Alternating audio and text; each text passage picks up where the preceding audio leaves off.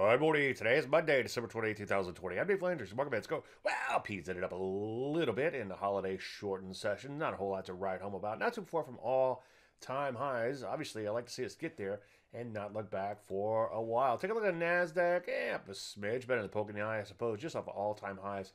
And here, Russell 2000 kind of paints a true picture, kind of thin and choppy type of day, down a little bit after probing new highs, as you can see in here. So far, so good. Nice persistent uptrend remains intact there. Some areas like biotech selling off a little bit, but so far the breakouts remain intact. Drugs kind of coming back in a little bit, but so far right at their breakout levels in here. For the most part, most areas looking pretty good at or near new highs. You know me, though. I always like to see some acceleration higher. So what do we do? Well, I'm still seeing buy setup. So continue to look to get long, but of course, take some profits along the way. Trail those stops higher, and of course, wait for entries to begin with. That's pretty much it. Any questions? Dave at DaveLandry.com. I'm Dave Landry, and you just heard a Bug Minute.